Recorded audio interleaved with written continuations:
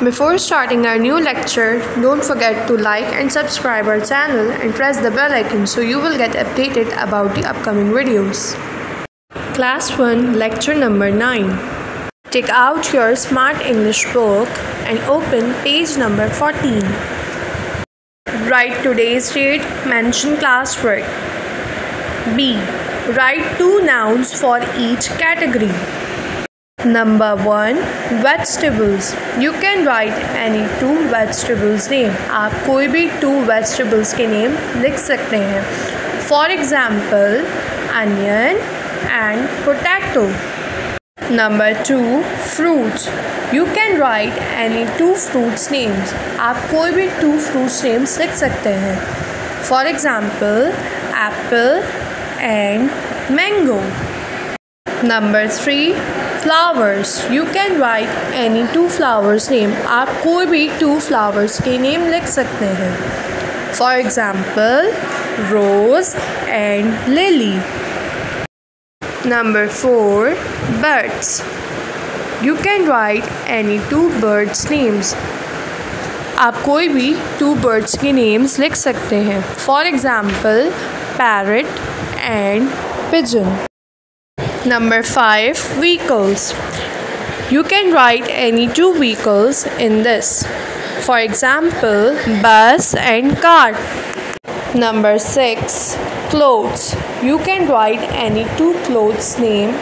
आप कोई भी दो क्लोथ्स के नेम लिख सकते हैं for example shirt and frock activity A write the names of any four animals with the following features आपने हर फीचर जो नीचे गिवन है बिग शॉर्ट लॉन्ग और टॉल इन चारों फीचर्स के अंदर फोर फोर एनिमल्स के नेम्स लिखने हैं.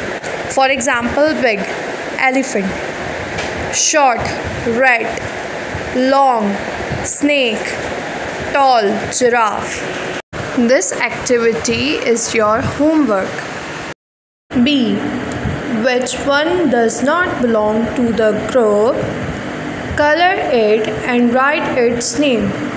अब आपके पास जो नीचे थ्री गिवन पिक्चर्स हैं, आप उन्हें देखें टाइगर पैरेट बेयर अब इन तीनों में से कौन सा एक एनिमल है जो इन दोनों एनिमल से मैच नहीं कर रहा? Parrot because parrot is bird and tiger and bear is wild animals. Write parrot here and color it. C. Arrange these words in alphabetical order and write again.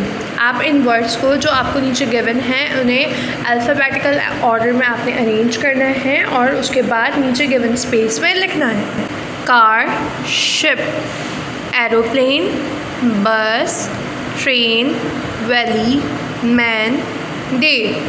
Arrange these words in alphabetical order.